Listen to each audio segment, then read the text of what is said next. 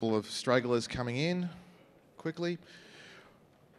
I'm here to introduce Matthew Chapman, who's going to talk to us about adventures in laptop battery hacking.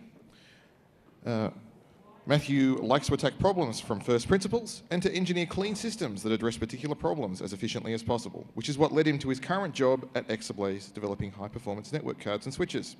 He holds a BE in computer engineering and a PhD in computer science from the University of New South Wales. Give him a round of applause. Over to you, Matt. Thank you. Um, so I'm probably best known in this community as the RDesktop guy. I was the original author of RDesktop. Um, I used to work on Samba a little bit too. Um, and uh, I, I, currently work for a company called Exablaze developing fast network cards and switches. But this talk is about none of those things. This talk is a little bit about a little bit of an adventure that I had trying to get my laptop battery working. So let's start from the beginning. This is my laptop. It's actually the laptop I'm using here to present this talk. Um, it's a Lenovo ThinkPad X230T. I bought it in August 2013, so about three years ago. Um, when I bought it, um, the, the battery capacity was, uh, at least the rated battery capacity is 62 watt hours. And when I'm sort of surfing the web and um, writing my talk slides and all that sort of stuff, I get about, um, I run about 12 watts, so that was giving me about five hours of battery life. So I was pretty happy with that. Then about two years later, um, the reported full charge capacity dropped to about two watt hours. So just let me say it again, it went from 62 watt hours to two watt hours. I'm not sure whether uh, maybe um, one of the cells failed or whether that's just normal degradation over time. But either way, I was only getting about 10 minutes of battery life out of it now. So um, you would say, okay, it's time for a new battery. It's, it's run its course. So I went online. Um, this is a, this battery, the original battery. Um, I, have got it here. Um, it's a 4N, 45N1079 Lenovo battery. So I went online to batdepot.com. Um, I, I, found something that looked like it was a replacement for this battery, add to cart. A few days later it arrived, I put it in my laptop. And I switched on my laptop, and, and this is what it says. The system does not support batteries that are not genuine Lenovo made or authorized. The system will continue to boot, but may not charge unauthorized batteries. Now, I'm not sure what may means, but the battery definitely did not charge. And what's interesting is it didn't charge even when the laptop's off. Like, I would have thought naively that you have your battery, you plug it into the power, it starts charging. But even when the laptop was off, I'd plug it in and the battery wouldn't charge. So something odd was going on. And so I started looking into this. So just to give you some background, um, most, I think probably all uh, in practice, laptop batteries implement something called Smart Battery System. It's a standard industry specification. Um, basically, it specifies a protocol for talking to a smart battery. Um, a smart, smart battery being a, a, battery with a, with a controller in it. And every laptop battery I know of is a smart battery. Um, so it requires a, a, clock and data pin for SM bus, which is basically um, I squared C, and a thermistor or safety signal pin.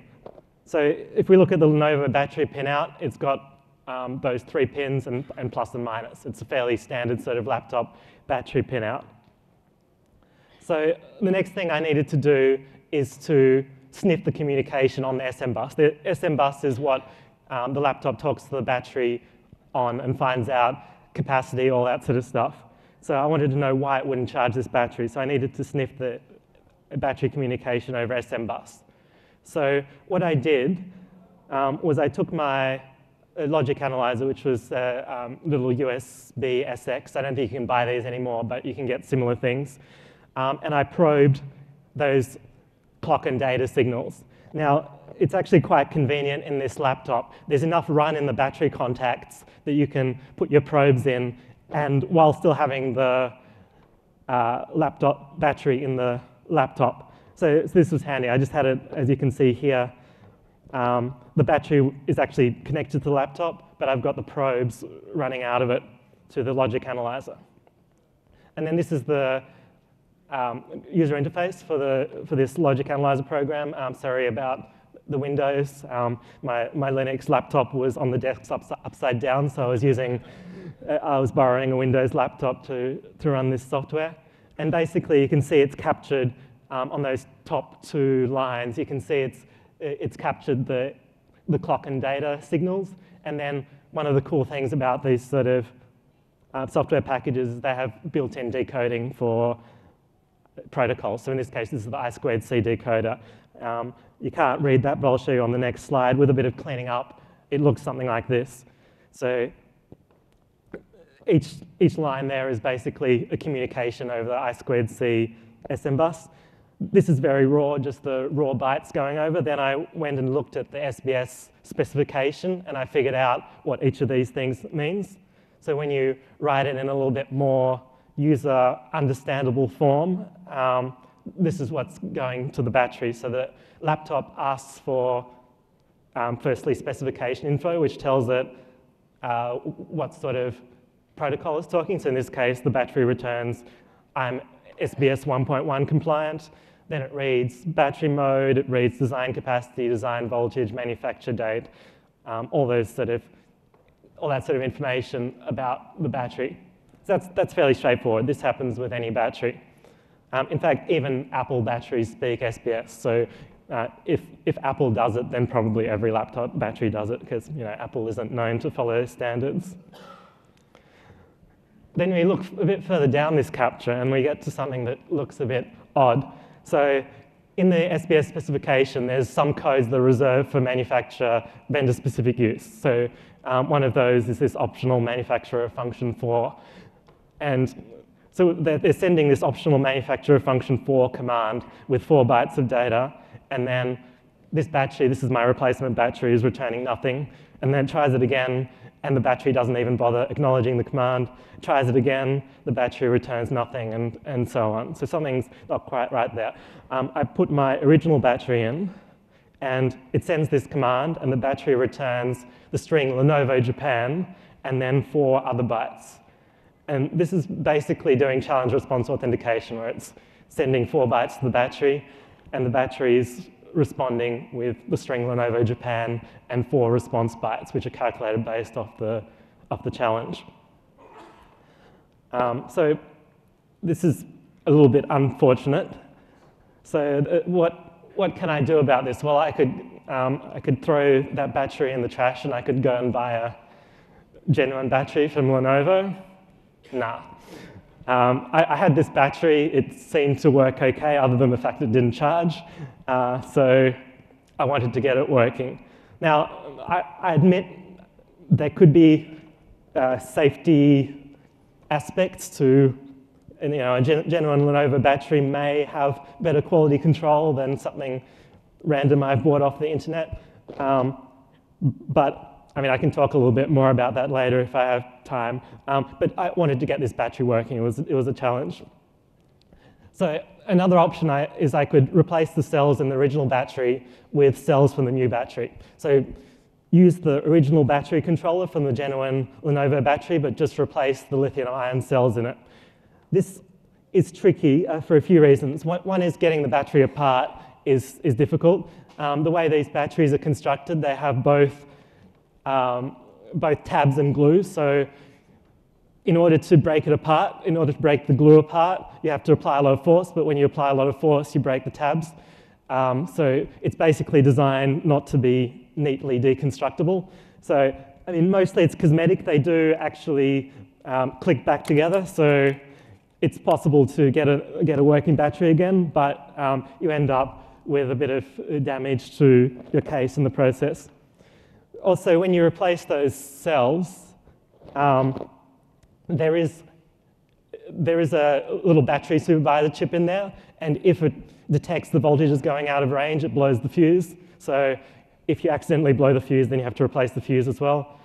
And probably the most concerning thing uh, for, for me was the fact that the flash in this battery stores battery calibration data, and I wasn't sure, like, if I replace the cells, are the new cells going to be working optimally while the controller still has the old calibration data.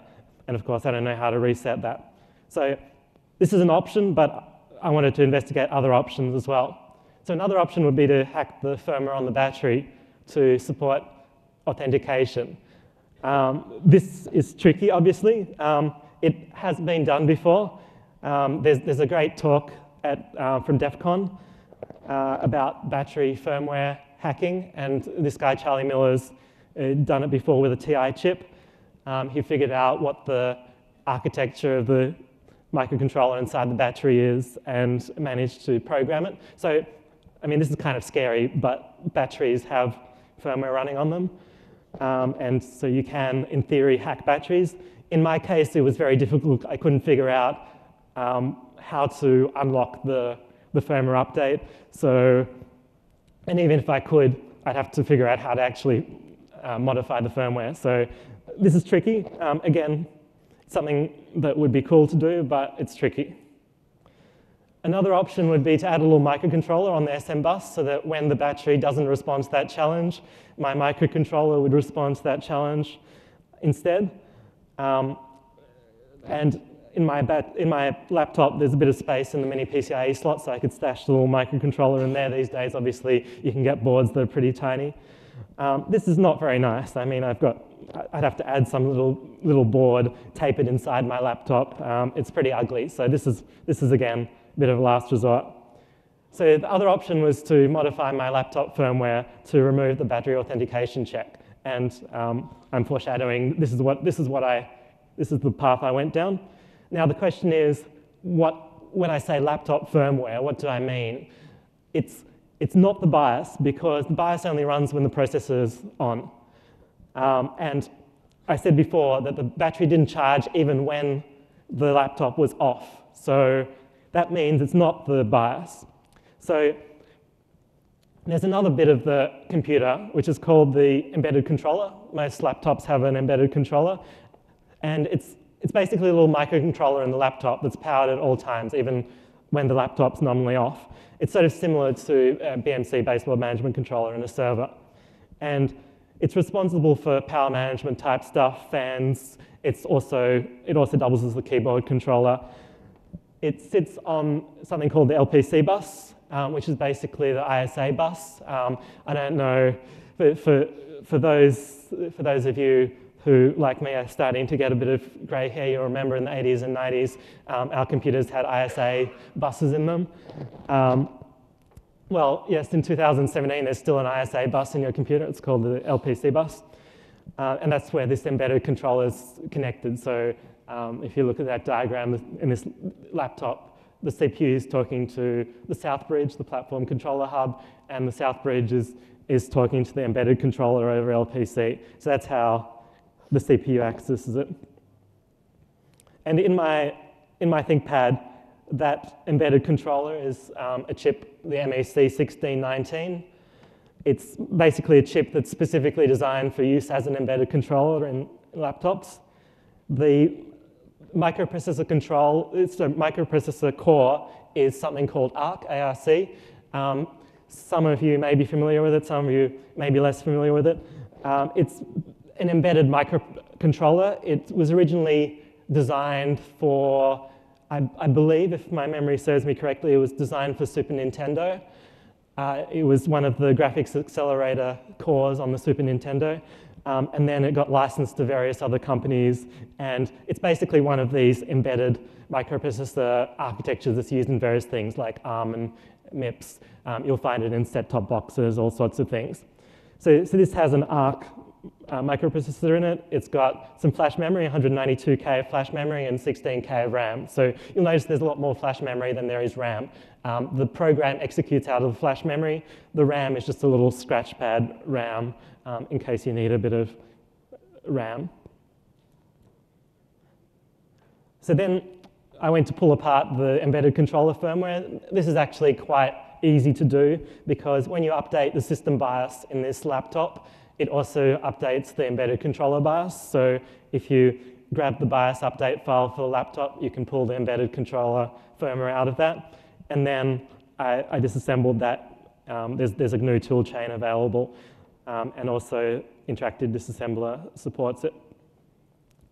So then I went through this disassembled firmware and I was looking for where it does this battery authentication. So the most obvious thing I was looking for is that optional manufacturer function for command that it sends to the battery, uh, which the, the code is 60 decimal um, 3C hex. So I looked through the code for all the references to 60 decimal, and there was this I found which was the most likely candidate where um, so on the arc architecture, the arguments to a function go in R0, R1, R2, R3, etc. And uh, in, in one argument, it passed 60, and then in the next argument, it passed 4, which to me was, was a big flag because 4 was the length of the data that it passed with, the, um, with that um, authentication sequence. So, so this was my hypothesis, um, that that's the code that does it. And then I looked around, and in fact, when I looked around the surrounding code, I, I managed to decode a state machine that looks something like this. So um, there's state 0 to 6, which is sort of initialization, but then in state 7, it starts this write command to the battery. State 8, it checks whether that's succeeded, etc. Then it sends the read command, it gets the data back, it validates the battery response. So if we look closer at this validation of the battery response, um, it, gets the, it gets the response, it calls a validate function, then it, there's this branch where if the return value of that validation function was not equal to one, then it branches to a failure path. So basically, if I, if I can just remove that branch, then it will fall straight through to the success path. So that, that's, that seems fairly easy. I just need to remove that branch and it will fall through and um, act as if the battery um, validation succeeded. But of course, it's, it's always a little bit harder than that. Um, there's checksums in the image. So uh, if we modify the image, I'll have to recalculate the checksums. So at, at, a minimum, if you look at the image, the last four bytes, it's a pretty obvious flag when you see um, the Fs are basically the, the end of the flash memory that's unused, and then the last four bytes are um, something random, and that changes in each version. So that's a pretty obvious flag that that's the checksum. Uh, but I couldn't figure out what algorithm it actually was that was used to generate that checksum. So that was, that was one issue. Then something else odd I found while digging through this image was that there's, there's a fairly large section of this image that looks like binary gunk, and usually that means it's either compressed or encrypted. And if you look, if you disassemble other code, there's jumps into the binary gunk. So that makes encryption more likely than compression because you can't really compress, so you can't decompress in place. Yeah, you can decrypt in place. So my hypothesis was that it's encrypted. And also from a certain offset to the end in each firmware revision, because I downloaded lots of BIOS updates and uh, compared them all. In each, in each revision, um, from a certain offset to the end of that encrypted block changed. So my hypothesis was that there's some cipher block chaining where each block, each 8-byte block depends on the previous 8-byte block. And so once anything changes, the rest of it changes.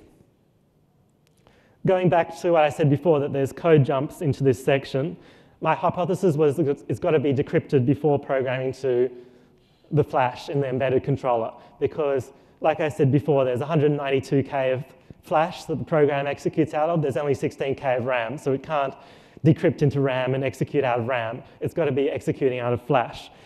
And so my hypothesis is that it's got to be decrypted before programming. So let's have a look at what the programming process looks like, and hopefully we'll find how that decryption happens. So the way the EC programming works is the BIOS update program, when you run it, it writes the new update to a spare flash memory area in, um, in an SPI flash chip on the, on the motherboard.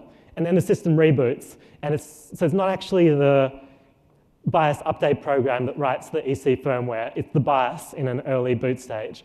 Um, and the reason is that after a certain point in boot, uh, as happens with a lot of these things, um, things are locked down, so you can no longer do the embedded controller update. So it's done by BIOS early in the boot.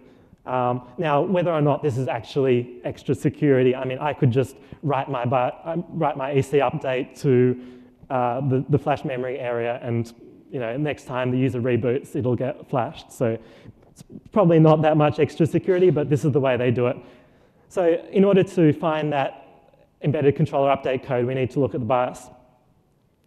The BIOS is um, a EFI compliant BIOS like most these days.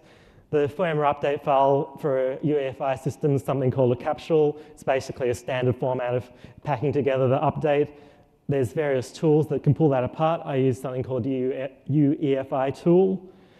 Um, once you pull it apart, you get lots of little executable modules. Um, basically, this is how the UEFI architecture works. There's lots of executable modules. Each one of the, those is a portable executable. It's basically the same format as a Windows exe, but obviously they don't run under Windows. They're designed to run in the native EFI environment. Um, and so each of these does a little bit of the initialization, and then they run in a certain dependency order. Um, and by the end of it, you have a working system.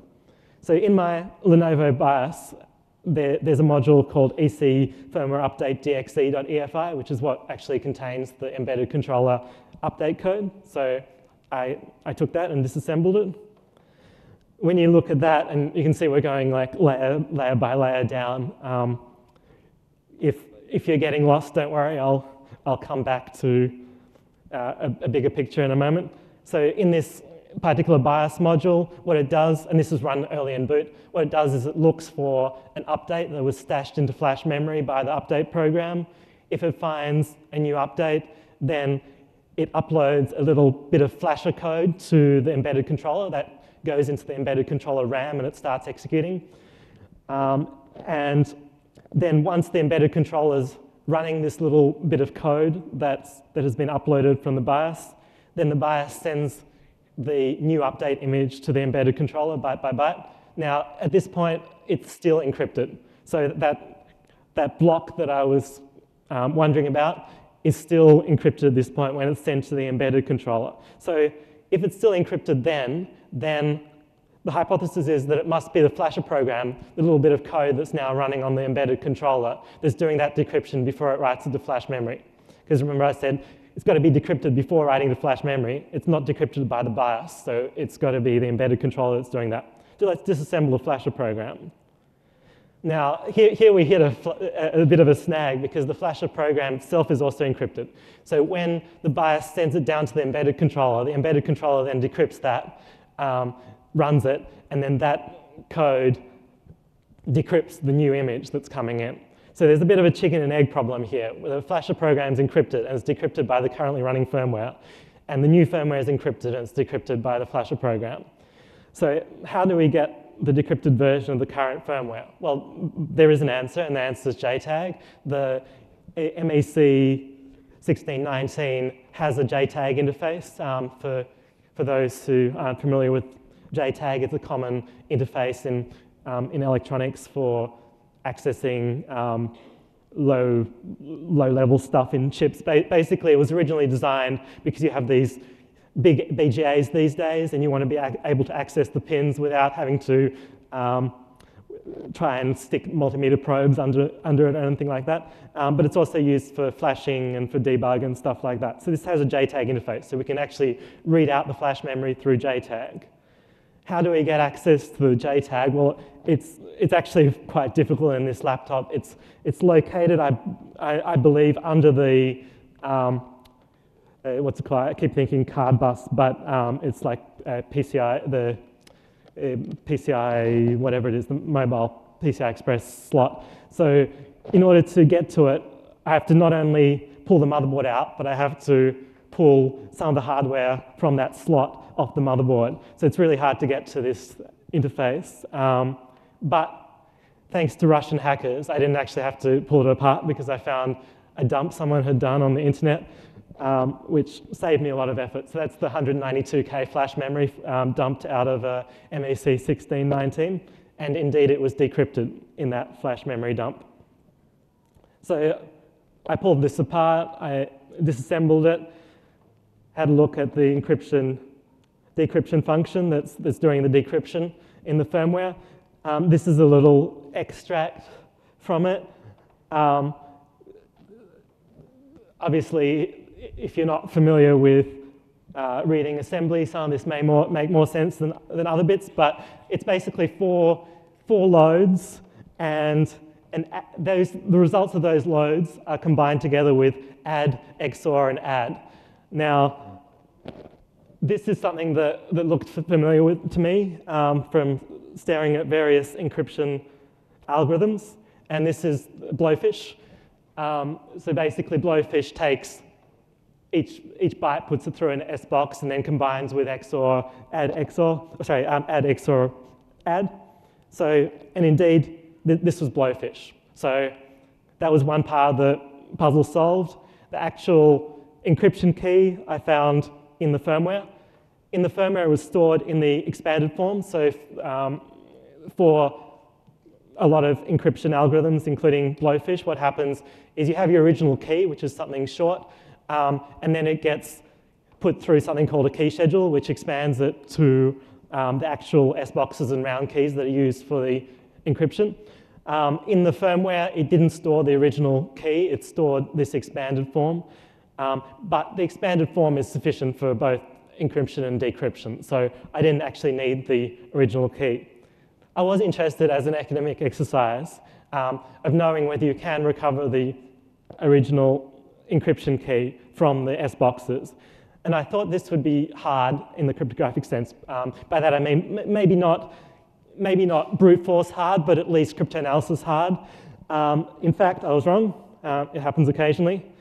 Um, there's, there's a user that commented on my blog that found a way to reverse the blowfish key schedule, and it's, it's actually um, it's actually not computationally difficult. You just have to run Blowfish a number of times.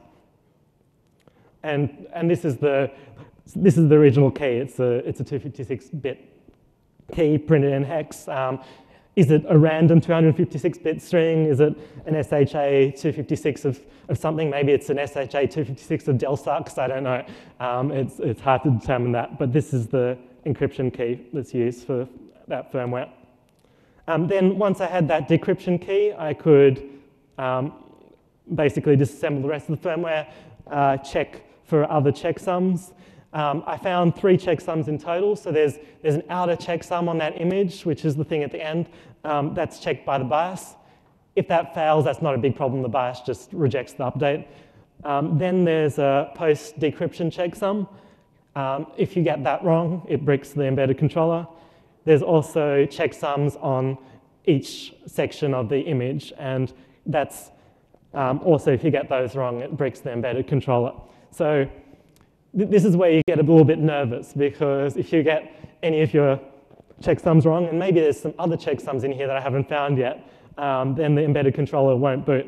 So, I mean, fingers crossed, those are the only three. So I, I wrote some utilities to calculate those checksums and to encrypt and decrypt firmware images. I did that simple patch of the jump with the NOP so that I could disable the battery validation. I wrote that back into the BIOS update file, rebooted, ran the BIOS updater, and then booted my laptop. Oh, sorry, uh, this, is the, this is the first message from the, from the BIOS updater. The, the BIOS updater says an update is not necessary at this time. So this is the first issue I ran into. If the BIOS version hasn't changed, it doesn't do anything. So I had to manually run the dosflash.exe in order to do that, uh, to apply that update. So indeed it works. Um, image flashing done. This is the first stage before it reboots, and then it reboots and actually does the EC update. So at this point, um, my, my heart was beating pretty hard.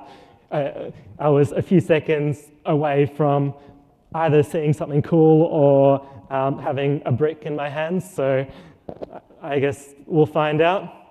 And it comes up with the same message as it, as it did before. So, so back, back to the drawing board.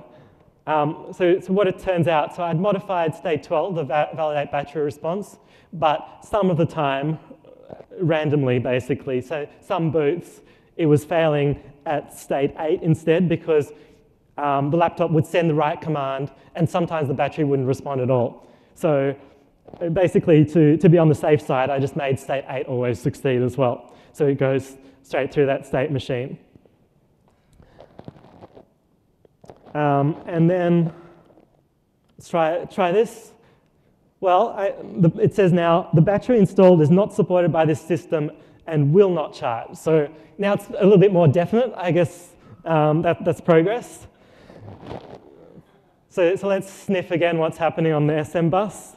Um, what I found is that if the first authentication sequence passes, it then sends another one. Um, why, why this is? Well, my guess would be that at some point someone's broken the other one. The other one's only four bytes in, four bytes out. You can probably um, brute force all the combinations, store them in a table. So um, they've added another one where it's 17 bytes in, which is probably 16 plus 1, and 25 bytes out, which is probably 16 plus 8 plus 1.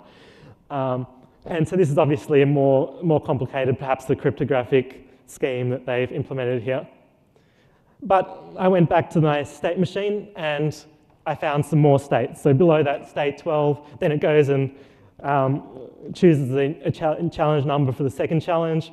Uh, it, it sends that second challenge, then it does that exactly the same process for the second, for the second challenge. So of course what I did was I now um, patched those same states in the second challenge. So I've, I've patched out the first write not succeeding, I've patched the first validation, I've patched the second write not succeeding, I've patched the second validation. And it works. Finally, the battery the battery charges. And, and this is my BIOS uh, setup screen. Um, and I've, I've put my initials in the embedded controller version just because I can. so I posted a write-up. Um, it, was, it was read by a few friends. And then one of my friends shared to Hacker News. And then my website got slash dotted. Um, my hosting service had a um, maximum on the, on the number of clients, so, um, so it, it, fell over pretty quickly. Um, there's, there's, a, there's a fun story about this. The, this was early in my relationship with my current girlfriend. I think it was my, like my um, second or third date. And the next day I, um, I, I, met up with her and, and I was like, man, I, I was up so late last night, I got slash dotted. And, and she's like, slash dotted? Is, is that like sloshed? Uh, and I had to explain, no, no, it's, it's, not me who got hammered. It's my, it's my website that got hammered. So um, anyway, she thought that was pretty cool once I explained that. And I, and I got about a million page views over the next few weeks. So that, that, that's pretty nice um, for someone who's not Justin Bieber. And then I uploaded my code to, to GitHub, um, as you do these days. And other people build on my work to do other modifications to the embedded controller firmware. So Hamish has a talk next up um, about what, what he did with his keyboard. Now, my tools don't work with the latest Lenovo laptops because um, I haven't looked deeply into it, but it looks like there's now signatures on the EC firmware. Uh, there's an open question here. Okay, um, this, this does prevent some malicious attacks. Um, modifying EC firmware, but you know, it's got a bit of a chilling effect on your ability to tinker with it. Um, what, what I'd really like is for all hardware to have some sort of means to unlock the bootloader, disable secure boot, etc., so that as a tinkerer, I can get around that without, uh, without you know, doing crazy things. In practice, of course, anything that you have physical access to can be broken with sufficient determination. So I reckon if I had sufficient determination, I, would probably get around that signature scheme somehow, like, like connecting to it via JTAG again. So that, that's, that's all for now. Um, I think I still have 10 minutes, so I can take some questions. Alrighty, who have we got? Right at the front down here, Mark. So first of all, very cool, obviously. Uh, good Thank job. Um, so I'm curious, my ThinkPad um, will not even charge a genuine battery unless the power supply is 135 watts as determined by a little resistor uh, value on the tip. Uh, even if the battery, if the laptop is shut off, it still will not charge on a 90 watt power supply, forcing me to carry a bigger one for no reason. Mm -hmm. um, would that kind of hacking allow changing some broken behavior I, like this? I, I, would guess so. Um, I obviously haven't looked into it, but I would guess that that sort of check for the power supply would be done in the embedded controller as well. So it's quite possible that um, it could be modified. How long did this whole process take and compare that against the cost of just buying a battery? So, I know it's fun. So a battery, uh, in terms of time cost, would be heaps cheaper. It probably took me about a, a month of on-off hacking to, um, to solve this problem, um, but it was the principle of it. Um, further questions?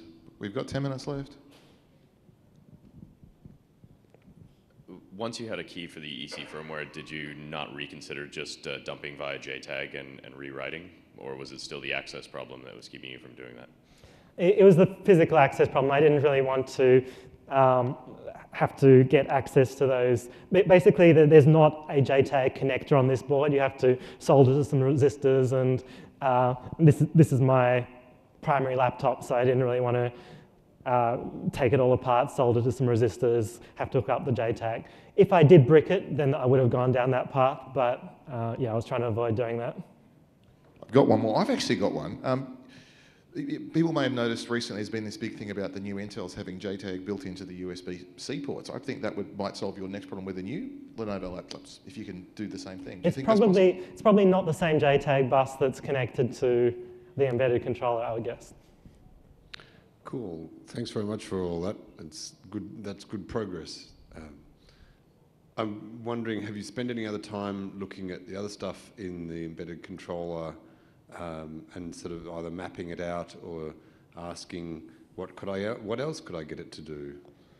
So I have poked a little bit um, in terms of the like there's 192k. Obviously, not all that's code.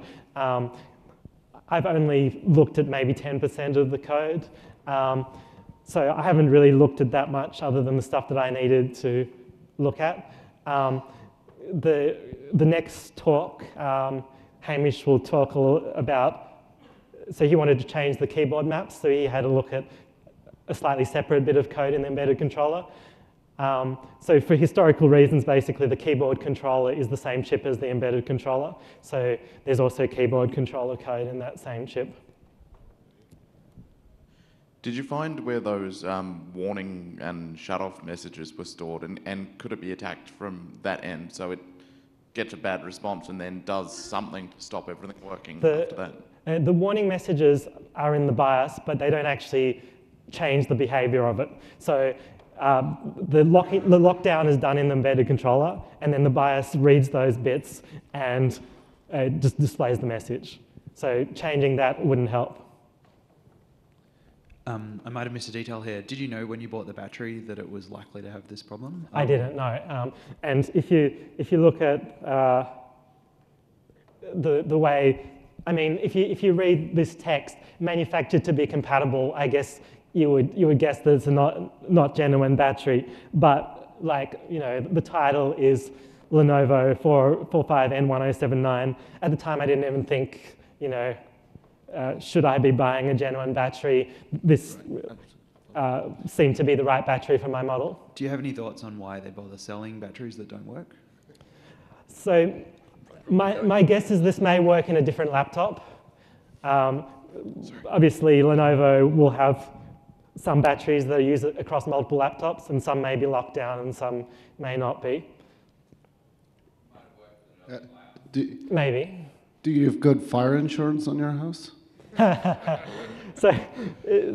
so uh, I've had this for a year. It hasn't burnt down yet. There's, so there's an interesting uh, question here of, uh, of you know, um, are, are these cells more dangerous? Now, just because I buy a Lenovo battery doesn't mean it won't catch fire.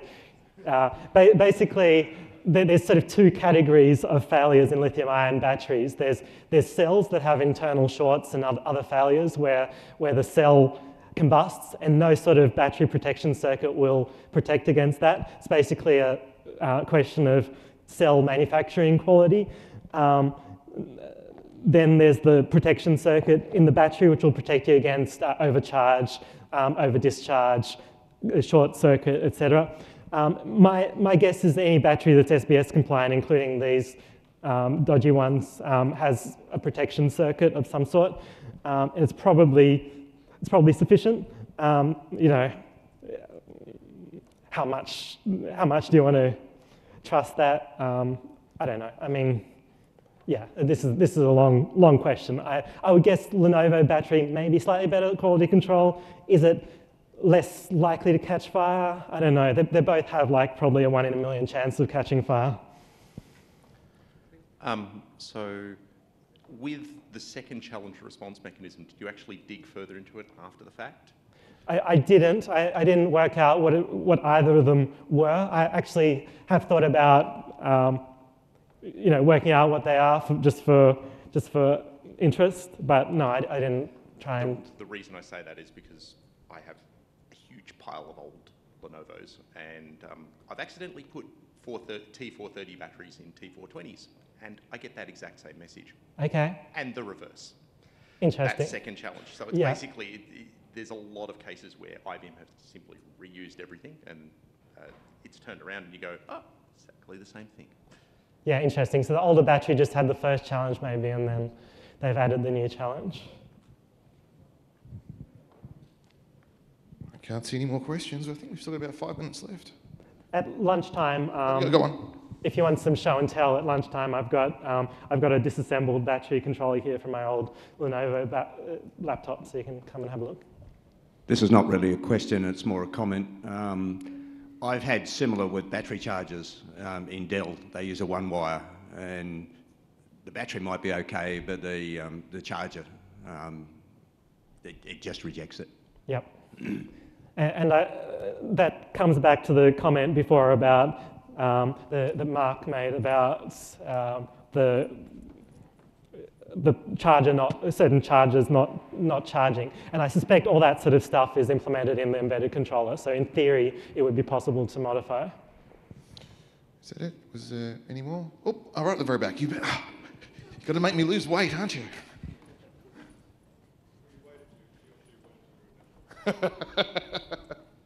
Thanks, Tim.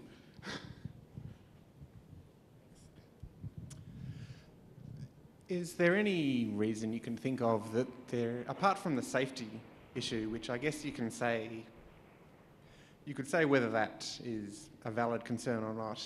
Let's assume it is slightly a concern. Why is there all this challenge response stuff in the batteries? Do you think it's purely just to sell more batteries? I mean, I don't, I don't see why all this extra engineering. I mean, I, I think. fun, I, I mean, I think those are the only two reasons. Um, one, which is, would be the, the official Lenovo reason, is safety, um, and then the other reason is to sell more batteries. You know, how you allocate um, those two reasons, well, it depends on how cynical you are, but, um, but yeah, those are the two reasons. I think um, we've got time for just one more, if there is one. Look, no, I think we're good. Well, I think that's it. Thank you very much for your talk. Thank you. And I do have a gift from linux.conf.au. Thank you very much for coming. Thank you very much. So uh, we've got a 10 minute break until Hamish